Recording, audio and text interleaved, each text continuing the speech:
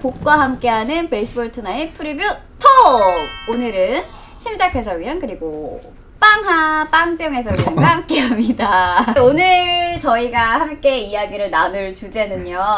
프로 야구와 프로 스포츠 프로 축구의 관중이 제한적으로 허용이 되면서 이제 7월 3일 정도로 유력해지고 있습니다. 그런데 이제 관중을 한 20% 정도 들어올 수 있다고 이야기를 하고 있는 상황인데 어, 팬들 사이에서는 좀 의견이 분분합니다. 과연 안전을 위해서 이게 입장을 하는 게 맞는지 아니면 아니다. 그래도 경기를 보고 싶어하는 팬들을 위해서는 이게 맞다. 이렇게 의견이 찬반 여론이 있거든요. 일단 찬성이다 반대다 확실하게 얘기를 해주셔야 됩니다. 저는 솔직히 관중들 들어오는 게 찬성이긴 한데 네. 결정을 못 내리겠어요. 이게 과연 안전에 도움이 되는 건지는 결정을 좀 못 내리겠고 네. 솔직히 제일 불만인 거는 야구장에 와서 치맥을 못 하게 하는 거. 어 치킨 중요하죠. 치맥 치맥을 해야죠. 야구장 이꼴 치맥이죠. 그럼요. 야구장에서 치맥을 지금 못 하게 한다니까 그거는 좀 어. 마음이. 치맥을 허용 안 하는 건 반대다. 아 정말 그거는 정말 반대. 아, 저도 반대입니다. 네, 반대. 치킨 사랑하는 일인으로서. 빵 위원님 어떠세요? 저는 좀 시기상조이지 않나. 최근에 이제 그 감염자가 다시 좀 늘어나는 추세잖아요. 음. 그래서 조금 더 추이를 보고 결정하는 게 낫지 않나. 치맥하고 전 상관이 없고요. 이렇게 얘기하면 난 바보 되는 거야. 치맥이 얘기하면 나는 또 가는구나. 치맥하고 꼭 뭐 전혀 상관이 음, 없고. 알았어. 국민들의 안전을 심각하게 가자 이거지. 음. 두분 두 분 사이 좋으신 거 맞죠? 네, 어쨌든 박지영 해설위원은 아직 식기상조다. 그리고 신작 해설위원은 치맥은 정말 반대다. 아, 치맥은 이렇게 어, 두 분이 의견을 주셨습니다. 두 번째 주제는 바로 오늘부터 MBC 스포츠 플러스가 중계하는 경기가 어, 김대우 선수가 선발로 나오는데 음. 롯데자이언츠 그 10년 만에 선발이에요. 근데 이 선수가 스토리가 굉장히 좀 특이한 게 뭐 투수했다가 타자로 전향했다 다시 타자했다가 투수로 전향해 정말 좀 up and down이 좀 있었던 그런 선수인데 심재학 해설위원이 좀 잘 아실 것 같아가지고 통증이 없이 투수를 할 수 있다는 거는 어떻게 보면 김대호 선수가 되게 관리를 잘했다고 보면 될 것 같고 지금 저 같은 경우는 뭐 1년밖에 안 했지만 1년 동안 진통제를 먹고 그러니까 달고 살 정도로 너무 심한 통증을 달고 살았고 강지광 선수도 제가 네. 그런 통, 똑같은 통증에 시달렸다고 제가 알고 있거든요. 그래요? 그러니까 좀 이렇게 전환 전향을 했다 다시 그 포지션을 찾아간 선수들은 좀 잘 됐으면 좋겠는데 아프지 말고 좀잘 됐으면 좋겠어요. 최학 해설위원님은 왜 투수로 전향하셨나요? 사실 1년 정도 하지 않으셨나요? 아, 그 투수로 전향한 거는 이상원 선배 옆에서 피칭하고 있는데 제가 장난치다가 같이 공을 던졌는데 이상원 선배보다 볼이 좀 빠르게 나왔어요. 그 당시에.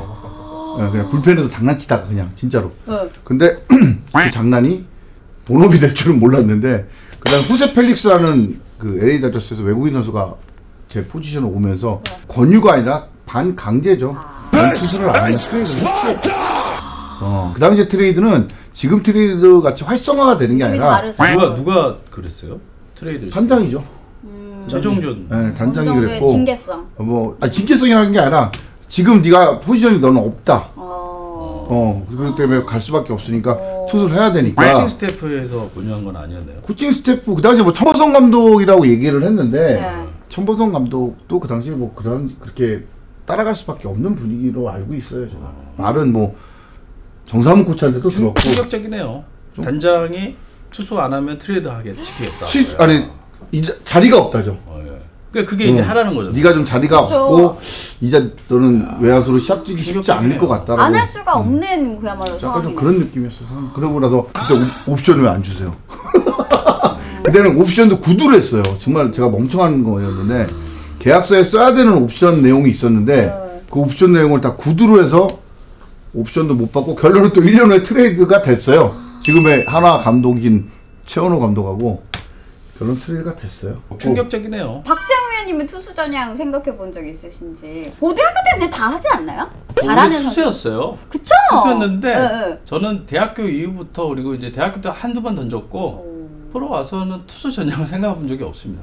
왜냐하면 투수도 잘하셨어요. 투수는 저하고 안 맞는 것 같아요. 왜요? 그 제가 신체 조건이 좀 불리하잖아요. 음 신장 쪽이 네. 약간. 신장이 좀 불리하고 하니까 아무래도 extension에서 불리함이 있기 때문에 또 전문용어 나와서 그렇기 때문에 저는 타자 하는 게 맞죠. 그래서 전 생각 안 해봤어요. 근데 투수했을 때 제일 좋았던 기억. 네, 이 정도까지 잡아갔다. 투수할 때 남부럽지 않았죠. 먹고 살만했어요. 아니 근데 진짜로 나 제가 고대 다닐 때 네. 고3이었는데 네. 아, 연고. 어, 진짜로 스카우사 가서 가 연습 게임을 나갔어 진짜 네. 광주 1고로. 네. 괴물이 하나 있다 광주에. 그 당시에 투수로 올라왔어요. 우리랑 게임하는데 대학교랑 게임하는데 고3이 투수로 올라왔는데 야구공을 던져야 되는데 애가 돌을 갖고 던지더라고 짱돌을. 진짜 공이 고3이 던지는 공이 아니야. 아직도 그 기억이 난다니까. 그 광주 1구 야구장에서 공이 날라오는 게 아니라 얼마나 공이 묵직하든지. 와 진짜로 근데 이제 저는 네. 투수랑은 좀안 맞죠. 근데 갔더니 저 연대랑 대학교 있는데요. 그래갖고 에이 감독이 에이 그로 갔어. 현재 이제 나종덕 선수의 투수 전향에 대해서 어떻게 생각하고 계시는지. 천성이 아니라 선수가 얼마큼 동의를 했느냐. 어. 정말 음. 이게 아무래도 제일 중요할 것 입장을 같고. 너무나 잘 아시니까. 그게 굉장히 중요할 것 같고 과연 송민규 단장이 얼마만큼의 개런티를 했겠느냐.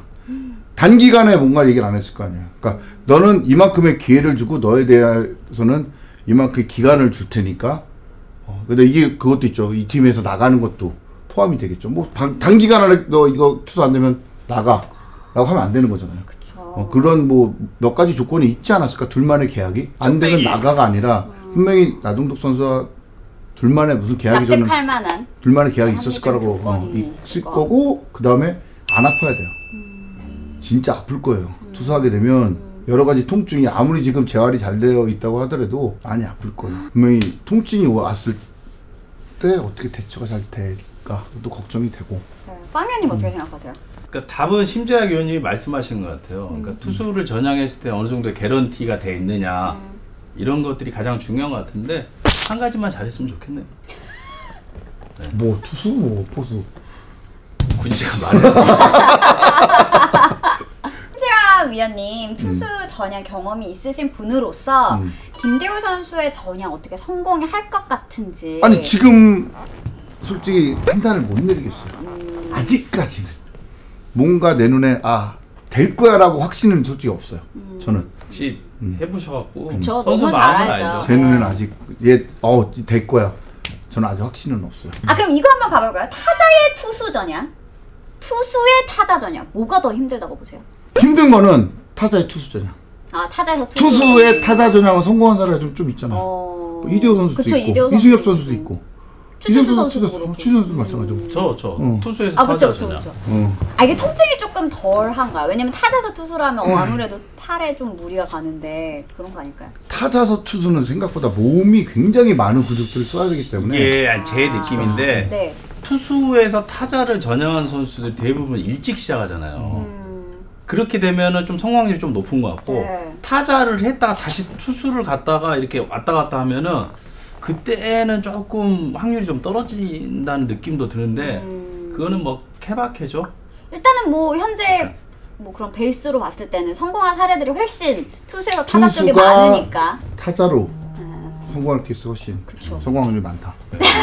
저희 베이스볼 투나잇에서도 이 조합 그대로 여러분을 기다리고 있을 테니까요 많은 관심 부탁드릴게요 감사합니다 빵아 빵빵 팡팡. 빵빵